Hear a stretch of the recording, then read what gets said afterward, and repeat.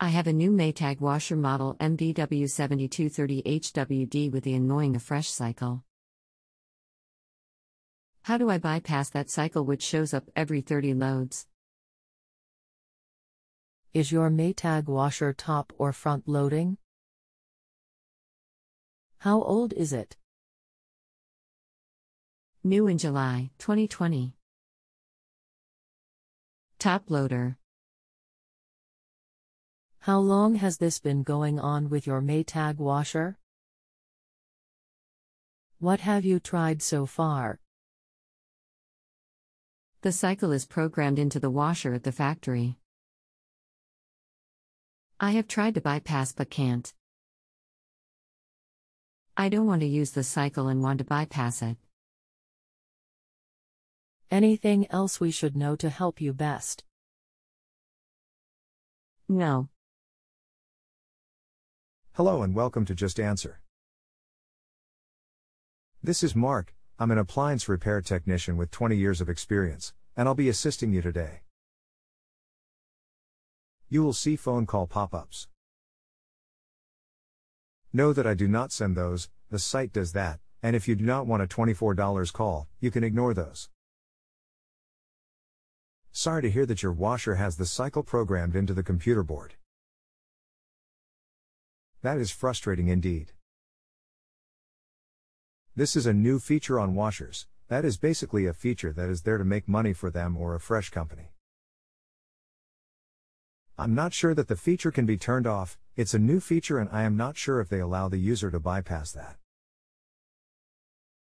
If they do not, then you can at least start it, then after 30 seconds cancel it and then you should not have to run that cycle. I would read over the owner's manual, which I do not have access to, and read the section on cycles and features, and see if you can turn off the Affresh cycle. If that feature is not mentioned, as an option, then it is unfortunately programmed into the computer board. Let me double check on this. I have tried the restart and have read the manual. Okay. I'm still researching other sources.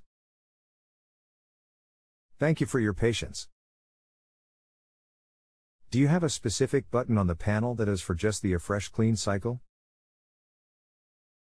Okay. Have you been able to just cancel the notification to use the Affresh Clean cycle? When you see the notification, you should be able to just cancel it. Have you done that? If all the clothes are removed, the notification doesn't appear until after all the clothes are in the washer. You should still be able to cancel it then. Then start a normal wash cycle. If you cannot cancel it at all, and you are forced to use the cycle, then that seems like a programming error or computer board error. I would then consider having a technician to come test it and make sure it's working as designed. Here is a link to set up an in warranty service request with Maytag if needed https colon slash www.maytag.com slash owners.html. Thanks.